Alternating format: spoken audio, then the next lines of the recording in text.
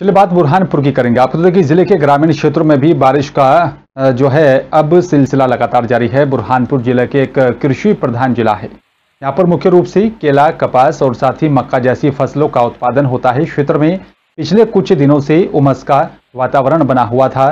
लेकिन आपको बता दें कि शुक्रवार को यहाँ पर गरज चमक के साथ ही बारिश हुई और जिसमें कि यहाँ पर वातावरण में परिवर्तन भी देखने को मिला है। बारिश का पानी गिरने से लोगों ने यहाँ पर राहत की सांस ली।